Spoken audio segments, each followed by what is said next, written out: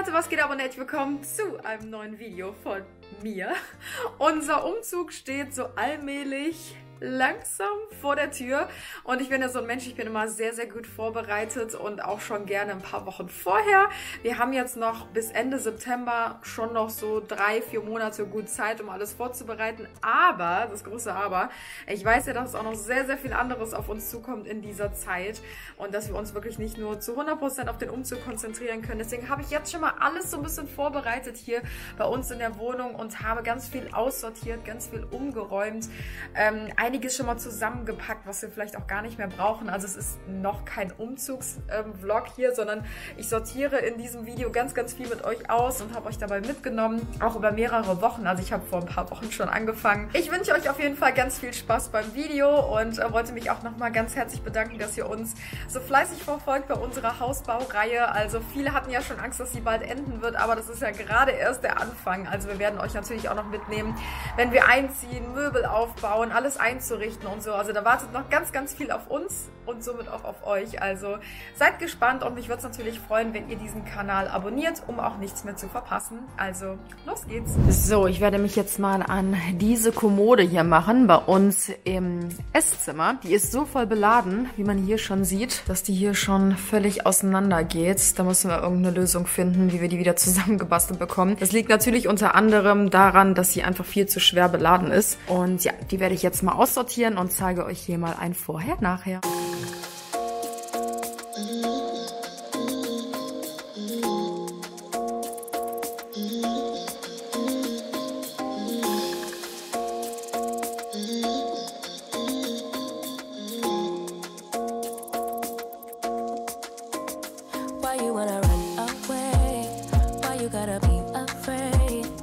wish I could make you stay. Cause baby, I love. Tryna break us up when I'm tryna build it up. I wish I could make you stop.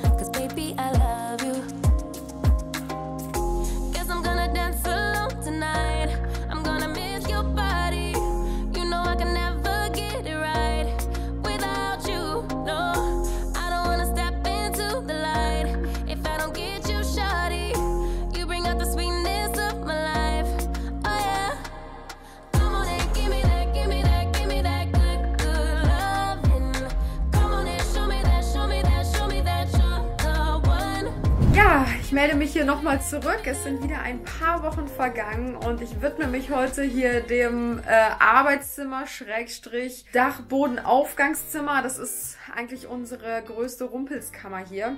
Ich drehe jetzt gleich die Kamera mal um, dann seht ihr, wie es hier aktuell aussieht. Ich habe ähm, die letzten zwei Stündchen hier schon ein bisschen was geschafft und schon ein bisschen Ordnung geschafft. Das sah vorher noch schlimmer aus. Bis zum Umzug möchte ich auch hier wirklich Ordnung haben, sodass wir wirklich auch nur noch alles hier haben, was wir auch mitnehmen möchten. Keinen unnötigen Ballast. Und deswegen sortiere ich das jetzt alles schon mal vor, damit wir uns auch ein bisschen äh, Zeit sparen, wenn es dann ums Packen geht. Also, ich zeige euch mal, wie es aussieht. Ja, so sieht das Büro aktuell aus. Ich habe hier schon eine Mülltüte stehen ähm, und bin hier gerade schon am Durchsortieren. Hier unten stehen noch ganz viele Sachen, die jetzt gleich wieder ins Regal eingeräumt werden. Das ist das Regal, welches ich gerade aussortiert habe. Das war wirklich bis oben hin voll und auch hier oben drauf standen super viele Sachen. Das habe ich jetzt auch mal abgestaubt. Das sieht nicht mehr ganz so schön aus. Hier sind schon so richtige Abnutzungen. Aber ich möchte das unbedingt mitnehmen beim Umzug. Ich hatte schon überlegt, ob ich das irgendwie beige anstreiche oder so, weil ich finde das super schön schön. Ich würde es ungern ähm, ja, hier lassen oder verschenken oder was auch immer. Deswegen mal schauen, wie ich das noch retten kann. Und äh, ja, hier läuft das Chaos weiter. Hier nimmt das Chaos seinen Lauf. Hier stehen schon ganz viele neue Sachen fürs Haus, ähm, wo ich aktuell noch keinen Platz für finde. Und auch hier werde ich jetzt gleich mal ein bisschen Ordnung schaffen und, oh Gott, ja, das alles noch ein bisschen in den Griff nehmen. Ich habe auch überlegt, ob ich hier diese Fotowall schon langsam mal abhängen soll. Da sind sowieso schon ganz viele Lücken, weil da Bilder runtergefallen sind, wie ihr auch hier schon sehen könnt. Also vielleicht ähm, werde ich die dann gleich auch schon abhängen.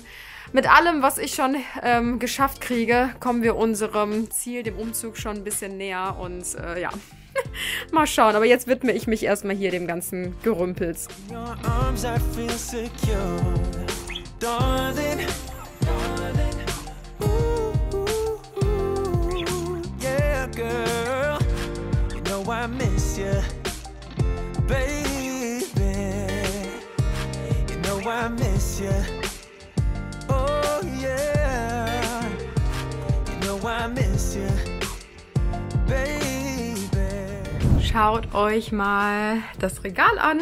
Ich bin fertig. Es sieht schon viel, viel besser aus. Und das habe ich einfach alles rausgeschmissen. Nur aus diesem Regal. Ich frage mich, wie das alles da reingepasst hat. Aber ich habe jetzt auch die Ordner wieder ordentlich gemacht. In den ganzen Boxen war so Kleinkram drin. Und auch hier die Gläser wieder neu sortiert. Hier sind jetzt Klammern drin. Hier ist noch ein leeres Glas. Da kann ich noch irgendwie Kleinkram reintun. Hier sind jetzt so Washi-Tapes und sowas drin. Ich habe auch geguckt, welche Washi-Tapes noch kleben, welche alt sind, welche weg können. Aus den ganzen Blöcken habe ich alte Blätter rausgerissen und da hinten ähm, die ganzen neuen Blöcke hingestellt. Oder eher gesagt, neu aufgeräumten Blöcke. Und ja, hier ist noch so ein bisschen Kleinkram drin. Oben habe ich jetzt so provisorisch dekoriert. Aber ähm, ja, ich habe mir jetzt nicht viel Mühe gegeben mit der Deko, weil wir ja eh bald ausziehen. Deswegen bin ich froh, wenn das jetzt einigermaßen aussieht. Hier bin ich auch nochmal drüber gegangen, habe alles sauber gemacht und aufgeräumt. Ja, und jetzt sind wir bei der Kruscht-Ecke gelandet. Und äh, da mache ich es mir jetzt ganz einfach. Und zwar geht das so. Alles ist aufgeräumt und sieht wieder mega, mega gut aus. Hier ist alles wieder frei. Alles ist auf dem Dachboden. Da stehen noch so ein paar Einzelheiten, aber ja, der Rest ist oben und äh, das Zimmer halt sogar richtig jetzt im Gegensatz zu vorher, weil es so leer ist. Und äh, ja, sieht auf jeden Fall wieder richtig gut aus. Also das Büro hätten wir damit auch erledigt. Ich befinde mich gerade in meinem Ankleidezimmer, wie ihr sehen könnt. Wir haben jetzt gerade Ende März und ich mache mich darauf, mein Ankleidezimmer auszumisten, auszusortieren und schon mal so ein bisschen vorzubereiten für den Umzug. Es sind noch circa sechs Monate, fünf, sechs Monate. Wir haben immer noch genug Zeit, aber ich nehme wirklich alle paar Wochen hier ein Zimmer nach dem anderen vor, um einfach ähm, ja den Umzug so gut wie möglich schon vorzubereiten, dass wir hinten raus nicht so viel Stress haben. Und äh, ja, ich nehme euch heute wieder ein bisschen dabei mit, wie ich diesmal hier das Ankleidezimmer umsortiere. Und ich zeige euch mal, wie es aktuell hier aussieht. Hier herrscht ein bisschen Chaos. Die äh, Schränke sind mehr als voll. Gerade hier ist es super unordentlich, super unsortiert. Es liegen super viele Sachen auf dem Boden rum. Hier von meinem letzten ähm, Trip ist noch ein Koffer, der noch nicht ausgepackt ist. Da stehen noch ganz viele Shooting-Sachen rum. Hier liegen Teile auf dem Boden. Mein Schminktisch sieht aus wie Sau. Ich habe hier auch die letzten Tage nichts mehr wirklich aufgeräumt, wenn ich ehrlich bin, weil ich wusste, es wird der Tag kommen heute, an dem ich hier rumsortieren werde. Und ja, das Kapitel gehe ich jetzt mal an mit euch. Mein Ziel ist es auf jeden Fall heute, einiges rauszuschmeißen, Kleiderschrank ein bisschen leerer zu kriegen, ähm, alles zu sortieren, alles aufzuräumen und äh, ja, ein paar Teile auch zu spenden, die dann am Ende übrig bleiben. Also, let's go!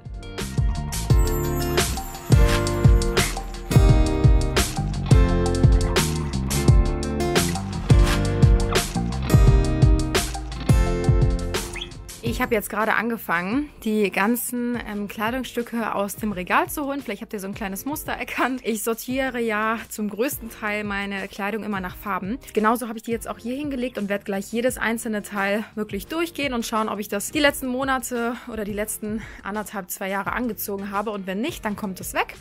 Und ähm, genau, so werde ich das jetzt auch alles durchgehen nach der Reihe, werde es dann auch neu sortieren, neu falten.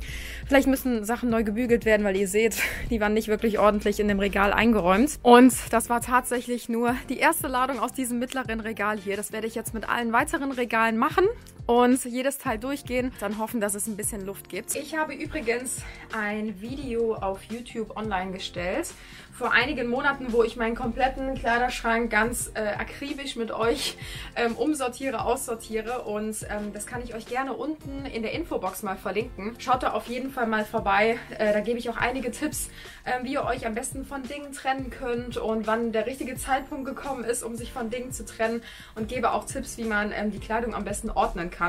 Und äh, genau, schaut da auf jeden Fall mal vorbei. Ich glaube, das würde sonst dieses Video hier sprengen, wenn ich das alles nochmal aufzählen würde. Ich mache mal hier weiter und dann sehen wir uns gleich wieder. Ich hatte euch das Ankleidezimmer noch gar nicht fertig gezeigt. So sieht es jetzt komplett aufgeräumt und einmal aussortiert aus. Ich habe hier auf dieser Stange einiges rausgeschmissen, also wirklich ganz, ganz, ganz viele Kleider. Hier habe ich wieder ein bisschen Platz gemacht, ganz viele Jacken ähm, auf den Dachboden nach oben gehangen, die wir jetzt aber auch bald dann in Kartons packen müssen. Ja, auch hier ist wieder alles ordentlich und nach Farben sortiert. Hier ist auch wirklich einiges rausgeflogen. Ich glaube, insgesamt habe ich drei große blaue Säcke aussortiert. Und auch hier die Stange ist wieder ordentlich. Jetzt habe ich zumindest hier schon wieder eine Grundordnung reingekriegt in mein Ankleidezimmer und es hängt wirklich nur noch alles hier auf den Stangen oder liegt auf den Brettern, was ich auch wirklich ins neue Haus mitnehmen möchte. Da werde ich auch mehr Platz nach oben hin haben. Ich hoffe, dass ich auskomme mit meinen ganzen Klamotten.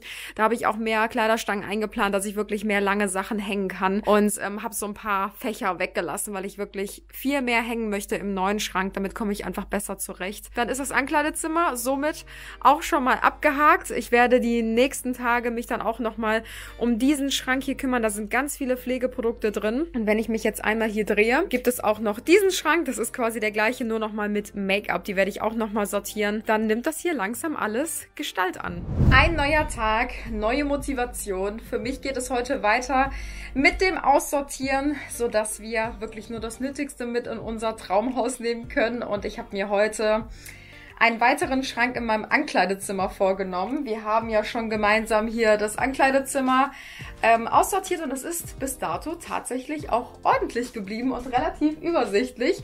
Und wenn ich mich jetzt mal ein bisschen weiter drehe, landen wir hier bei diesem Schrank, den seht ihr auch immer bei Instagram, wenn ich hier meine Outfits euch abfilme. Und in diesem Schrank äh, befindet sich ganz, ganz viel Kosmetik, wie ihr hier seht. Ganz viele Pflegeprodukte und ich bin gerade schon dabei, ja, da Tabula Rasa zu machen und einiges rauszuschmeißen. Und äh, da dachte ich, ich nehme euch dabei auch wieder mit und zeige euch jetzt mal, ähm, was ich alles schon aussortiert habe. Ja, hier hat sich schon einiges zusammengesammelt und das werde ich alles, alles abgeben, weil es einfach für mich viel zu viel ist. Eigentlich habe ich in diesem Schrank Sachen gelagert, die ich gerne selber ausprobieren wollte oder selber verwenden wollte. Aber wie ihr seht, es ist einfach viel zu viel. Also ich wüsste nicht, wann ich die ganzen Sachen alle für mich verwenden sollte. Und ich habe auch schon einiges an Freunde und Familie verschenkt. Und ähm, genau, deswegen wandert das alles in die Verlosungskiste und ihr könnt euch auch wieder auf tolle Verlosungen freuen.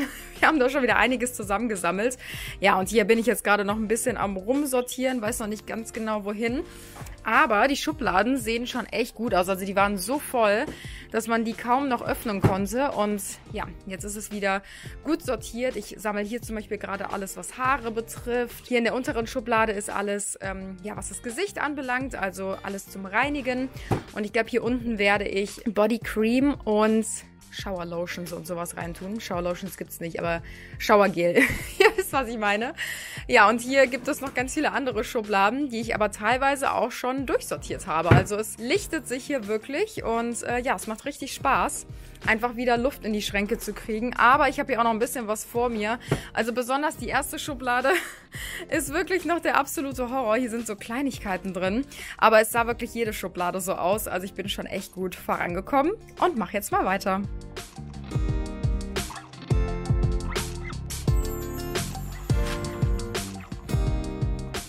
Eine halbe Stunde später, schaut mal bitte, was ich alles aussortiert habe. Hier so eine ganze Ikea-Tüte voll mit Masken, Cremes und alles. Also wirklich richtig geile Produkte. Aber wie gesagt, einfach zu viel für mich.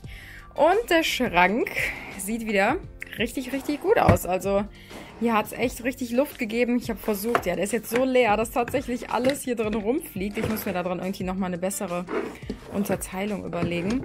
Aber ich habe mir die Sachen eigentlich extra so hingelegt, dass ich alles auf einen Blick sehe. Aber ja, je nachdem, wie wuchtig ich die Schubladen auf und zu mache, fliegt alles durcheinander. Ja, und ihr seht da hinten ist auch noch Platz. Also ich habe jetzt extra ein bisschen Space gelassen und alles sortiert. Ja, und so sehen jetzt alle Schubladen hier aus. Also richtig, richtig gut. Ich bin sehr, sehr happy mit der neuen Ordnung. Auch hier in der Küche habe ich richtig Tabula Rasa gemacht. Da ist so viel rausgeflogen. Der Schrank war vorher so voll, dass die Sachen teilweise schon aus den Regalbrettern rausgefallen sind oder gedroht haben rauszufallen. Hier unten habe ich jetzt so ganz viel Zeug reingepackt, was wir nicht ganz so oft brauchen. Ja, wenn Besuch kommt oder so. Und hier sind jetzt so diese ganzen Alltagsteller und genau Schüsseln und alles mögliche, was man wirklich jeden Tag braucht. Und hier unten diese Schublade war bei uns auch immer die reinste Katastrophe. Das ist so diese Öl-Essig-Schublade. Da war vorher auch alles voller Flaschen. Ich habe leider vergessen, eine, Vor eine Vorheraufnahme für euch aufzunehmen. Aber da war super viel schon abgelaufen oder auch leere Flaschen teilweise hier drin. Jetzt ist hier auch wieder alles sehr, sehr übersichtlich. Ich denke, dass wir vor dem Umzug vielleicht auch nochmal das ein oder andere Teil rausschmeißen müssen. Aber das ist jetzt wirklich schon mal so das Gröbste erledigt. Und ja, schon mal sehr gut vorgearbeitet. Ja, das war's mit dem Video. Ich hoffe, es hat euch gefallen und uns bleiben natürlich noch ein paar Wochen zum Umzug. Bis dahin wird sich natürlich auch noch einiges hier tun. Vielleicht wird es auch noch mal einen zweiten Teil geben, kurz vorm Umzug. Da wird sich bestimmt bis dahin auch wieder einiges anhäufen. Ihr kennt das Spiel. Ja, ich wünsche euch jetzt einen wunderschönen Tag, wann auch immer ihr das Video sehen werdet und wir sehen uns ganz bald im nächsten Video. Ciao, ciao!